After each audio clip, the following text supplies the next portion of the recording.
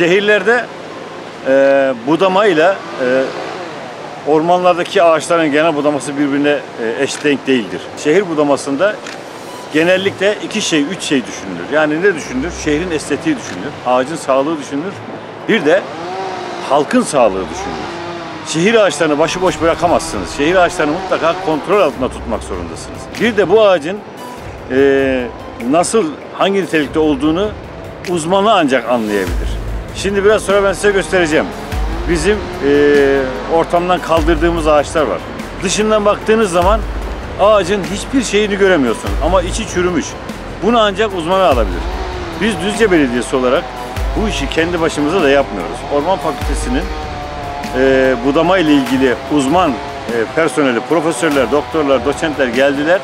Hep beraber bir çalışma yaptık burada. Ağaçların nasıl budanacağını, hangilerinin budanması gerektiğini, hangilerinin kaldırılması gerektiğini bizlere teknik bir rapor verdiler. O rapor doğrultusunda biz budamamızı yapıyoruz. Onun haricinde tabii ki bizim personelimizin tecrübesi, eğitimi buna müsait. İstanbul Büyükşehir Belediyesi'ndeki uzman personeli getirip biz burada eğitim yaptırdık. Bazı ağaçlar dev gibi büyümüşler.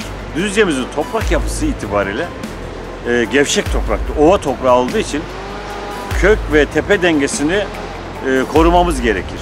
Rüzgarlı havalarda aşağı e, kök tarafı kumlu olduğu için rüzgarlı havalarda bu çok kolay devrilebilir. Bunun örneğini geçmişte çokça yaşadık.